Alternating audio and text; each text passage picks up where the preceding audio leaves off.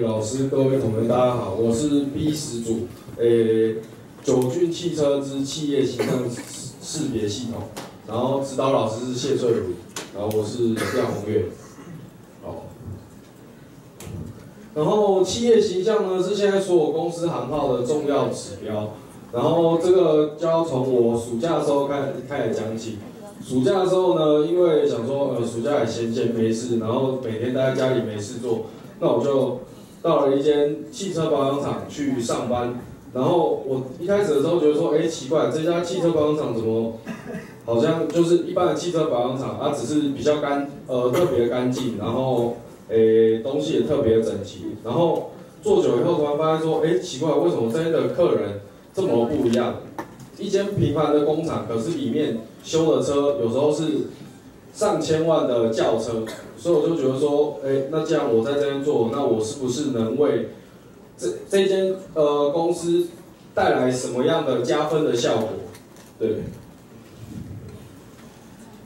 然后它是在承德路上巷子内的铁皮屋工厂，然后普很普通很普很普通的招牌，它就是有双色设计，然后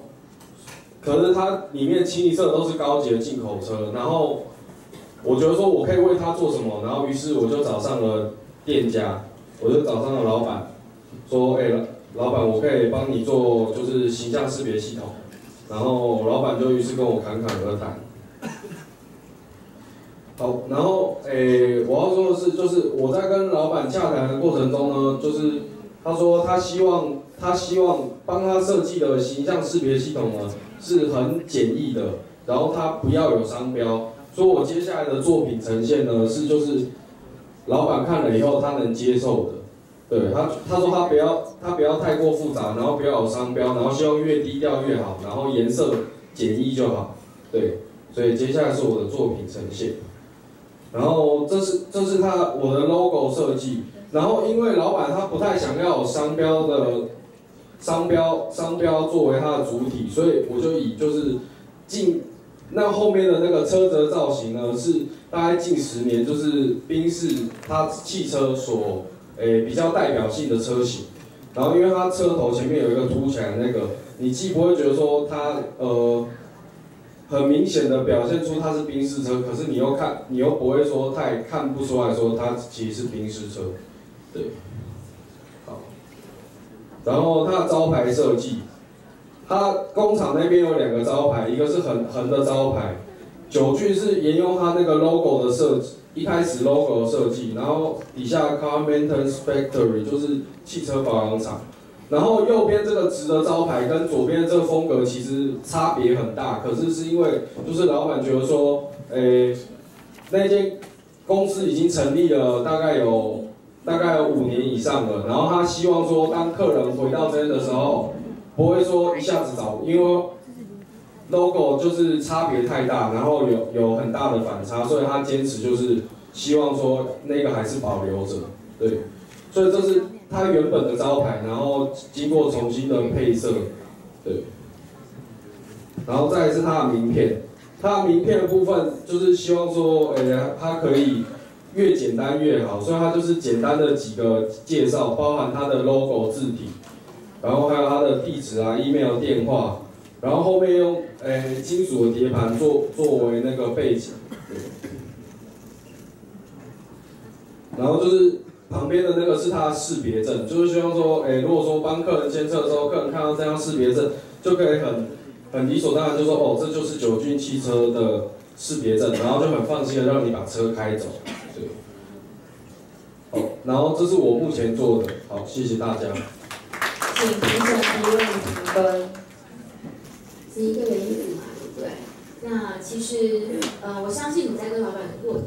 洽谈的过程，然后到今天十二月的时候，你可以做这样的呈现，其中应该有很多的改版，对不对？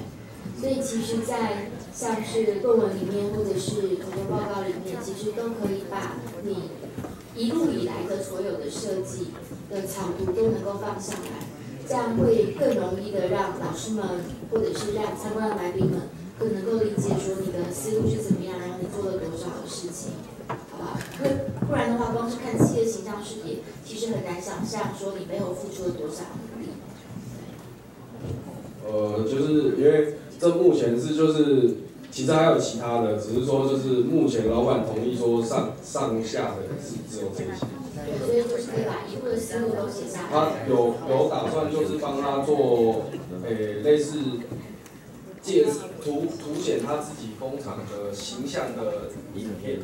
他也不是要向外宣传，只是就是加深客人的诶、类似忠诚度的影片，只是就还在还在谈当中。把这个问题红绿几个问题，老板满意吗？诶、应该说，因为它原本的很很简单，它就是只有背景的颜色，然后跟字体而已，所以他觉得说，如果加了那个 logo 的话，他感觉说会比较比较。OK，好，如果老板满意的话，好，那就是表示你已经至少已经成功了哈，就是你跟呃企业主这样的沟通是成功的。第二个就是你要学学刚刚那个仆人，你都没看到仆人，仆人呃可以把他的这些事情然后说的这么多，那你呢刚好就是易军老师说的，因为企业形象如果只有你刚刚的呈现的话，在我们看起来就就很简单啦、但是企业形象就像包含你跟老板谈，你们这个企业形象要怎么样去做定位，对不对？哈，这个企业是什么样，要去怎么做定调，还有就说那个中间修改的过程，这其实是蛮，你如果按照严格来讲，应该是很繁复的。可是呢，这一块你没有彰显出来。好，你要学学仆人，把那块也谈出来，那我们知道说，哦，确你确实花了很多的心思，中间的沟通是怎么样进行的？好，那怎么样去定调这个企业形象？怎么样去做呃它的那个识别系统？那这样的话就会变得非常的完整。谢谢老师。呃，企业形象其实可以是很贵很贵的收费，但是事实上你可以把它做得更